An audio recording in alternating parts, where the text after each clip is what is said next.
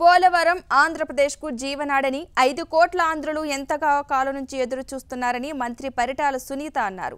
ముఖ్యమంత్రి చంద్రబాబు నాయుడు గారి ఆశ శ్వాస పోలవరమే అన్న ఆమె సోమవరాన్ని పోలవరంగా మార్చుకుని సీఎం పోలవరం ప్రాజెక్టుపై ఇప్పటివరకు డెబ్బై ఎనిమిది సార్లు వర్చువల్ రివ్యూ నిర్వహించారని చెప్పారు. ఇప్పటివరకు పోలవరం ప్రాజెక్టు మొత్తం అరవై శాతం పనులు పూర్తి అయ్యాయని చెప్పిన సునీత కాంగ్రెస్ పాలనలో వైఎస్ హయాంలో పోలవరం ప్రాజెక్టు తీవ్ర నిర్లక్ష్యానికి గురైందని విమర్శించారు.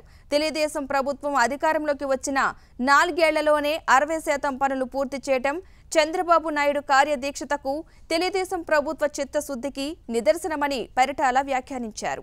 అనంతపురం జిల్లా రాప్తా నియోజకవర్గం నుంచి భారీ ఎత్తున ఒక వెయ్యి మంది రైతులు ఇక్కడ సందర్శించేదానికి కూడా వచ్చినారు. వాళ్ళకందరికీ కూడా ఇక్కడ దగ్గర నుండి చూపించాలనే ఆలోచనతో నేను కూడా వాళ్ళతో పాటు పోలవరం వచ్చి పోలవరం అంతా కూడా చూడాలనే దాని మీద అందరికీ చూపిస్తున్నాం ఇక్కడ కూడా బాగా ఎక్స్ప్లెయిన్ చేసేకి మన డిఈలు కానీ ఈ గారు జేఈ గారు వీళ్ళందరూ కూడా చాలామంది అధికారులు కూడా ఆఫీసర్స్ కూడా ఇక్కడ పెట్టారు.